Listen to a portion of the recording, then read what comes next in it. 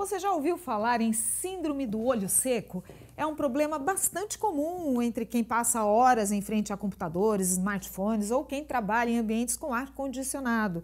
O diagnóstico rápido é fundamental para evitar problemas maiores na saúde dos olhos.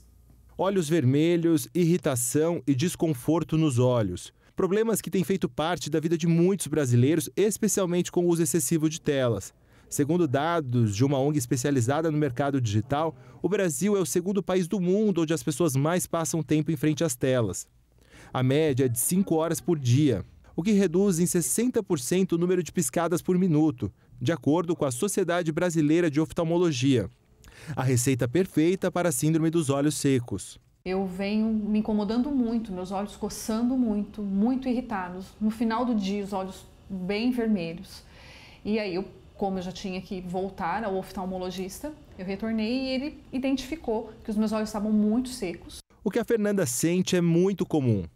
Cerca de 50% das consultas oftalmológicas do Brasil são decorrentes de olho seco. Os sintomas são diversos e se assemelham a outros problemas oculares, o que dificulta a identificação no paciente. O mais comum que a gente vê aqui no consultório, que representa 80% dos casos de olhos secos, é o olho seco evaporativo. A nossa lágrima, ela não é composta só de água. Né? A gente tem uma camada aquosa e uma camada lipídica, uma camada de gordura na lágrima, que justamente mantém essa lágrima ali aderida à superfície é, corneana, né, a superfície do olho, e mantém essa superfície lubrificada.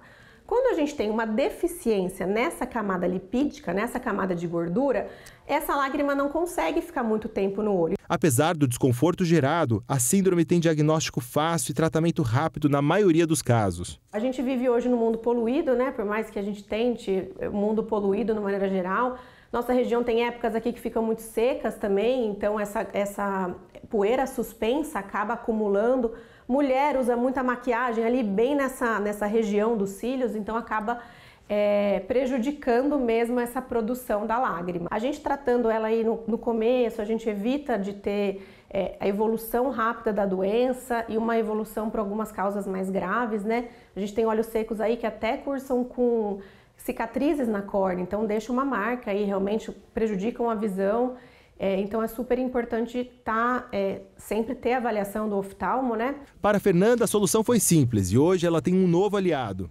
Agora o colírio vive comigo, né? Então, por onde eu vou, sempre o colírio está na bolsa, porque às vezes irrita com mais, é, mais frequência, com menos frequência, depende do ambiente que eu tô.